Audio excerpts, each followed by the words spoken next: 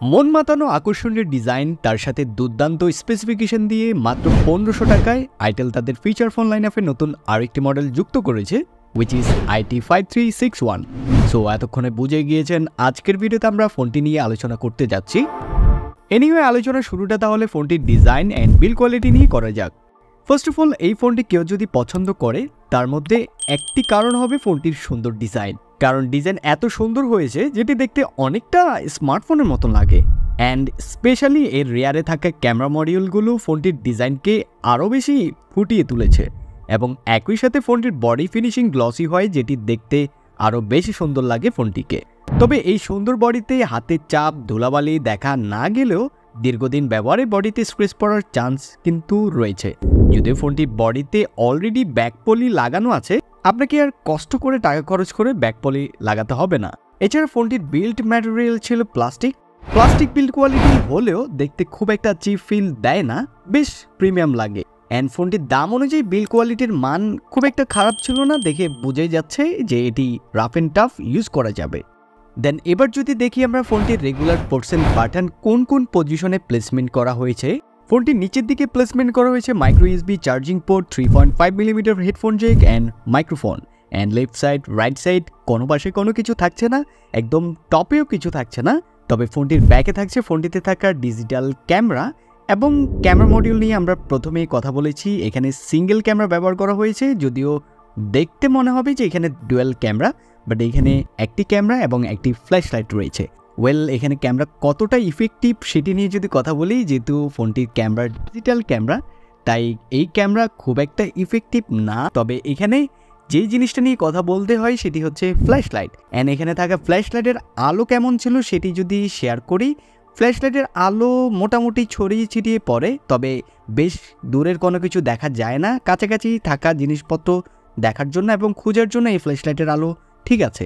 তবে এই ফ্ল্যাশলাইটের আলো আপনাকে আহামরেই স্যাটিসফাই করতে পারবে না, কারণ ফ্ল্যাশলাইটের আলো কিছুটা ফানসে। সো ফ্ল্যাশলাইট হয়তো যারা ব্যবহার করেন, তারা এর থেকে ভালো কিছু হয়তো এক্সপেক্ট করেছিলেন। কিন্তু স্মার্টলি যে জায়গায় ফ্ল্যাশলাইট ইমপ্লিমেন্ট করেছে, দেখতে সুন্দরই লাগে। সো যারা স্মার্টলি ফ্ল্যাশলাইট ব্যবহার করেন, তাদের জন্য আই হোপ এটি ঠিকঠাকই রয়েছে। এছাড়া এর রেয়ারে আরও দেখতে পাবো ফোনটিতে থাকা স্পিকার পজিশন অর্থাৎ লাউড স্পিকার অ্যান্ড বলে রাখা ভালো, ফোনটিতে কিন্তু সিঙ্গেল স্পিকার ব্যবহার করা হয়েছে। অর্থাৎ আপনি কথা বলেন আর গান শোনেন, একটি স্পিকার দিয়েই কথা বলতে হবে। অ্যান্ড এই স্পিকারের সাউন্ড কোয়ালিটি কেমন ছিল সেটি যদি শেয়ার করি স্পিকারের সাউন্ড খুব একটা বেশি ছিল সেটি বলব না। স্পিকার দেখতে যেমনটা বড় লাগে, তেমন কিন্তু সাউন্ড ছিল না। লাউডনেস মনে হয়েছে কিছুটা কম বেসমেন্টেরও কিছুটা ঘাটতি ছিল, আমার কাছে মনে হয়েছে। সো সাউন্ড যেটি ছিল সেটি মনে হচ্ছে যে কিছুটা পাঞ্চে সাউন্ড এখানে প্রডিউস করে। সো স্পিকারের বেসমেন্টটা আরেকটু ইমপ্রুভ করলে আমার মনে হয় ভালো হতো।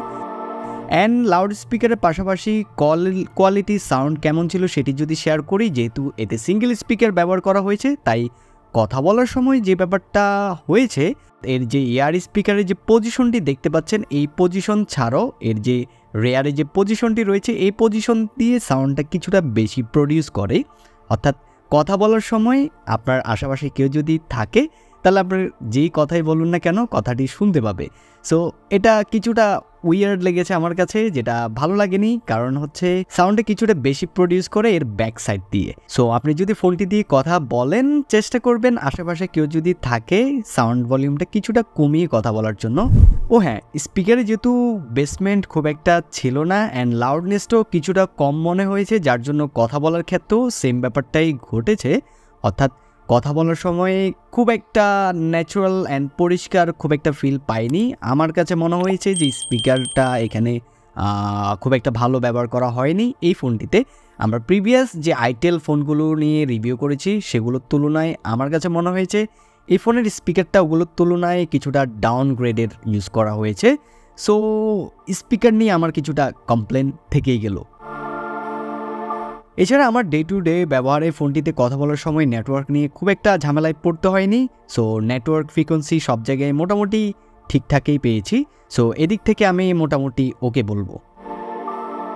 দেন এবার যদি আসি ফোনটির ডিসপ্লে সেকশনে এখানে ব্যবহার করা হয়েছে টু পয়েন্ট এইট ইঞ্চের Q Q বিজিএর display which is two hundred forty into three hundred twenty পিক্সেলের একটি ডিসপ্লে অ্যান্ড এখানে ডিসপ্লের কালার ব্রাইটনেস অ্যাকুরেট ছিল। সো এই ডিসপ্লেতে ইনডোরের পাশাপাশি আউটডোরেও কোনো কিছু দেখতে গিয়ে খুব একটা প্রবলেম হয়নি।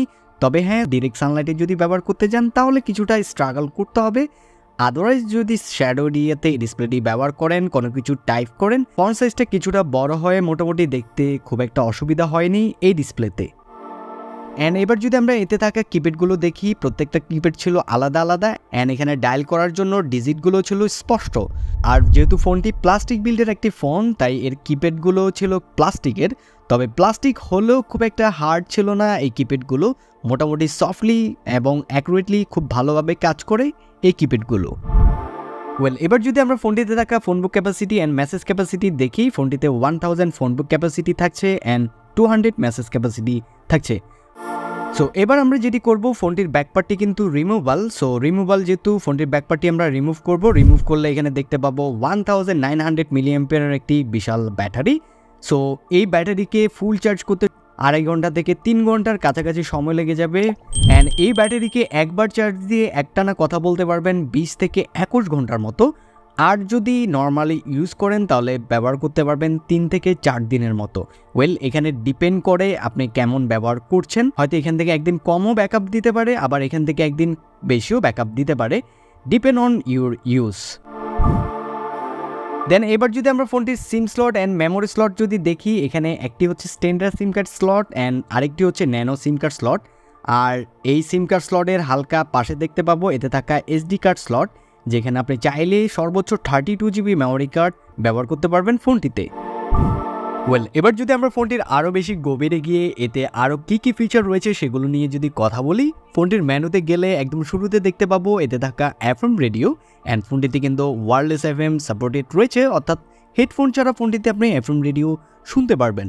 দেন এফ এম রেডিও থেকে বের হয়ে যদি আমরা মাল্টিমিডিয়াতে ইন করি এখানে দেখতে পাবো video recorder image viewer audio player video player sound recorder and file manager then এবার আমরা মাল্টিমিডিয়া থেকে বের হয়ে যদি প্রোফাইলে যদি আসি, এখানে প্রোফাইলে আসলে দেখতে পাবো ফোনটিতে থাকা ডিফল্টে ভাইব্রেশন এবং রিংটন ফোনটিতে রিংটনে ব্যবহার করা হয়েছে তিনটি রিংটন অ্যান্ড ভাইব্রেশন নিয়ে যদি কথা বলি ফোনটিতে ভাইব্রেশনটা ছিল মিডিয়াম পর্যায়ে, অর্থাৎ খুব বেশি এক্সট্রিম কোনো ভাইব্রেশন ছিল না মিডিয়াম একটা ভাইব্রেশন পেয়ে যাবেন ফোনটিতে দেন এবার যদি আসি ফোনটির সেটিংসে অ্যান্ড সেটিংসে আসলে শুরুতে দেখতে পাবো এতে থাকা কল সেটিংস অ্যান্ড কল সেটিংসে আসলে অ্যাডভান্স সেটিংসে যদি যাই, শুরুতে দেখতে পাবো black list and auto redialer call time reminder আরও দেখতে পাবো answer mode magic voice well ফোনটিতে কিন্তু ম্যাজিক ভয়েসও রয়েছে। সো যারা যারা ম্যাজিক ভয়েস পছন্দ করেন অ্যান্ড ম্যাজিক ভয়েস খুঁজে খুঁজি করেন, তারা ফোনটিতে থাকা কল সেটিংসে যদি আসেন, একদম নিচের দিকে আসলে পেয়ে যাবেন এতে থাকা ম্যাজিক ভয়েস এছাড়া ম্যাজিক ভয়েসের আরেকটু নিচে আসলে দেখতে পাবেন এই ফোনটিতে থাকা অটো কল রেকর্ডিংয়ের ফিচারটি দেন এবার আমরা এখান থেকে যদি বের হয়ে যাই, বের হয়ে যদি আমরা এখানে থাকা আরও যেসব ফিচারগুলো রয়েছে, সেগুলো ঘাটাঘাটি করি। অ্যান্ড ঘাটাঘাটি করার মধ্যে যেসব ফিচারগুলো ইম্পর্টেন্ট খুব বেশি সেগুলো নিয়ে কথা বলি। এখানে আমরা দেখতে পাবো সুপার ব্যাটারি মোড ওয়েল ফোনটিতে কিন্তু সুপার ব্যাটারি মোড ফিচারটি রয়েছে। সো এই ফিচারটি অ্যাক্টিভ রেখে যদি ফোনটি ব্যবহার করেন, তাহলে এই ফোন থেকে ব্যাটারি ব্যাকআপ আরও বেশি পাবেন। অর্থাৎ এই ফিচারটি যদি ব্যবহার করেন, এখানে এটাও বলে রাখা ভালো ফোনের যে ব্রাইটনেসটি রয়েছে, সে ব্রাইটনেসটি কমে যাবে। দেন এবার যদি আমরা ফোনটি কীভাবে রিস্টার্ট করবেন, সেটি নিয়ে যদি আলোচনা করি ফোনটি ওয়ান টু থ্রি ফোর দিয়ে রিস্টার্ট করতে পারবেন। সো এখান থেকে বের হয়ে যদি আমরা এবার সিকিউরিটি সেটিংসে আসি, এখানে সিকিউরিটি সেটিংসে আসলে যেসব ফিচারগুলো দেখতে পাবো SIM security and phone security and privacy lock so privacy লকে যদি আমরা ইন করি, তাও এখানে ইন করার জন্য আমাদেরকে one two three four pin দিতে হবে। And one two three four pin দিয়ে আমরা যদি এখানে ইন করে দেখতে পাবো কল হিস্টোরি লক অ্যান্ড দেখতে পাবো মেসেজ লক অ্যান্ড দেখতে পাবো কন্ট্রাক্ট লক অ্যান্ড আরও দেখতে পাবো ফাইল ম্যানেজার লক সো এই চারটি ফিচার আপনারা এখান থেকে লক করে রাখতে পারবেন। অ্যান্ড বের হয়ে যদি আমরা এক্সট্রাতে আসি, এখানে শুরুতে দেখতে পাবো ফোনটিতে থাকা কিং টকার ওয়েল বলে রাখা ভালো কিং টকারের মাধ্যমে আপনি ফোনটিতে কি কি সুবিধা নিতে পারবেন। সো এখানে থাকা কিং টকারের মাধ্যমে যেসব সুবিধাগুলো নিতে পারবেন অলরেডি এখানে দেওয়াই আছে, যেমন contract speak and dial key speak তারপরে এখানে ইনকামিং কল স্পিকার তারপরে এখানে দেখতে পাবো time per hour speaker so এগুলো নিয়ে যদি কথা বলি, অর্থাৎ আপনার ফোন বুকে থাকা কন্ট্যাক্ট নাম্বারে যদি যান, যে নাম্বারটি রয়েছে সেই নাম্বারটি আপনি যদি এটি অ্যাক্টিভ করে রাখেন সেই নাম্বারটি এখান থেকে বলে দিবে। অ্যান্ড এখানে ডায়াল কি যেটি রয়েছে, যে নাম্বারটি আপনি ডায়াল করেন না কেন, সেইটি আপনাকে এখান থেকে বলে দিবে। অ্যান্ড ইনকামিং কল স্পিকার যেটি রয়েছে, সেটিও আপনার যখন ইনকামিং কলটি আসবে, অর্থাৎ যে নাম্বারটি আসবে, যে নাম্বার থেকে কল আসবে সেই নাম্বারটি বলে দিবে।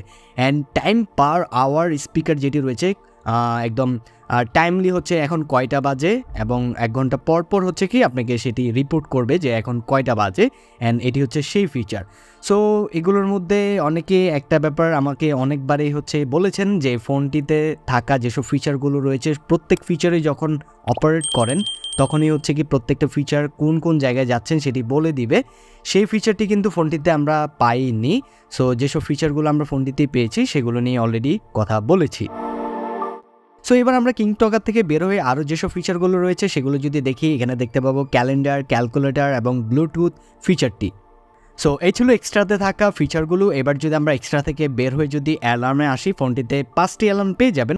এছাড়া এছাড়া আরও অনেক ফিচার রয়েছে ফোনটিতে। আসলে সব ফিচার নিয়ে কথা বলতে চাচ্ছি না। যেসব ফিচারগুলো খুব বেশি দরকার এবং যেসব ফিচারগুলো নিয়ে কথা বলতে হয়, সেসব ফিচারগুলো নিয়ে আমরা কথা বলেছি।